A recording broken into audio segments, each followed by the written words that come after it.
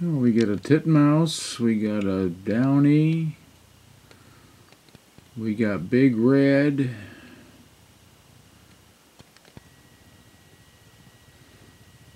oh, big red, you lost one there, big red. There's a downy, looks like a female downy.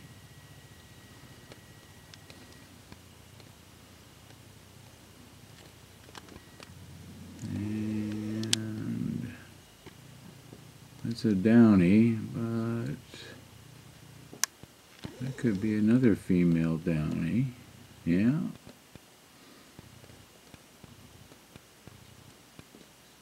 No, there's the male downy, along with Big Red. Mm -hmm. Let's check him out. Hi, Big Red. There they go. It's all about timing.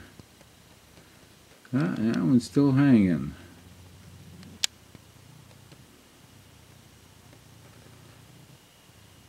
Yeah, he came back. There's the Downy couple, Mr. and Mrs. Alright. And that looks like a chickadee, maybe. Alright, some action on the post.